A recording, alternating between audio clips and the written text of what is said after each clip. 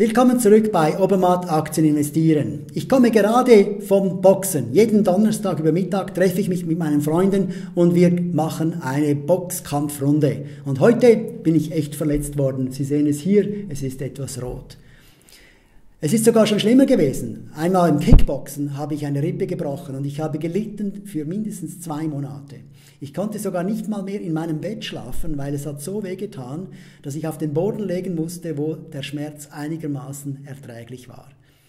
Das heißt das, dass ich keinen Sport mehr treiben soll?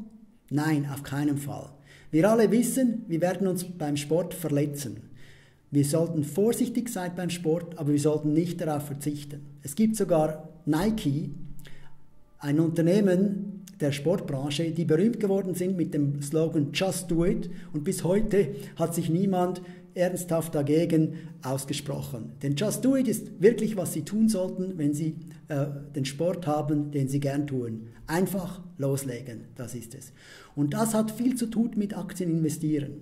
Wenn Sie heute 100 investieren wollen, haben Sie zwei Möglichkeiten. Unter anderem, Sie können es eben nicht investieren, Sie können es das, unter das Kopfkissen legen oder auf die Bank tun und nach 30 Jahren werden diese 100 garantiert noch dort sein, abgesehen von Dingen, die, auf die wir jetzt nicht gerade hoffen.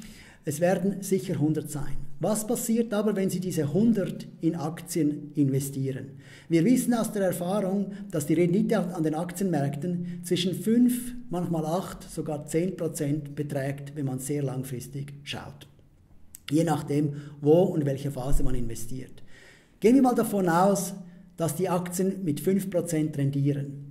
Dann werden aus 100 investiert heute über 30 Jahre angelegt stolze 1000. Sie haben zehnmal mehr, als was sie einbezahlt haben.